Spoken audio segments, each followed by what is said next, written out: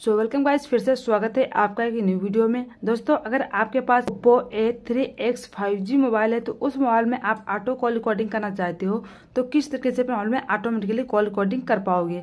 इसके लिए आपको करना क्या होगा, आपको अपने फ़ोन में डायलर ओपन कर लेना है।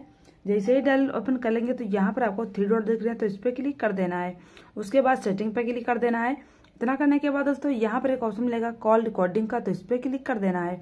जैसे इस पर क्लिक करेंगे तो यहाँ पर देखिए आपको एक ऑप्शन मिल जाएगा ऑटोमेटिकली रिकॉर्ड अनोन नंबर्स तो ये आपके फ़ोन में डिसेबल होगा तो इस पर क्लिक कर देना है।